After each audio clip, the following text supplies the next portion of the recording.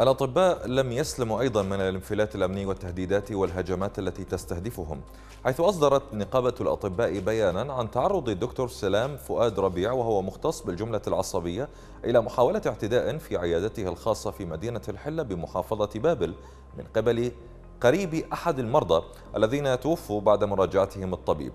طالب نقيب الأطباء العام بوقفة احتجاجية مع غلق العيادات ليوم واحد وإعطاء الموضوع بعدا إعلاميا. فنشاهد.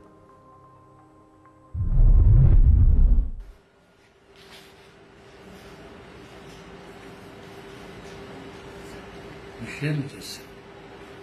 وما أعرف شو اسمه هو. لازم تعرف اسم الكامل. هو موجود هسه هو؟ أخذ عقد فاضي؟ ما عندي فترة لا على ما على على على اسمه لا الله هو إحنا